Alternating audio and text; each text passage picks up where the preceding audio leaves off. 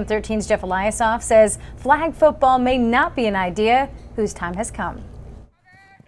It's not the smash mouth version of football, but these folks playing an alternative by grabbing a flag instead of tackling someone say it's still football. We all love like football. It's Alabama. We all like every type of football. Michael Woolley and Mark Taylor among the football fans who would pay to see flag football in international competition. Of course I would, yeah.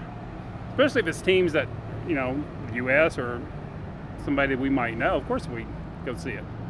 It'd be a lot of fun. Birmingham City Councilor William Parker is excited about flag football for men and women and wants it in the big event two years from now. It's a very competitive and, and growing sport, and uh, we would uh, love for it to be a part of the World Games 2021. in no better place than Birmingham, Alabama at Legion Field at the uh, football capital of the South. I spoke with the CEO of the World Games this afternoon. He says there is no chance for flag football in 2021 here at Legion Field because all the events were set in stone a few months ago by the international body in Thailand.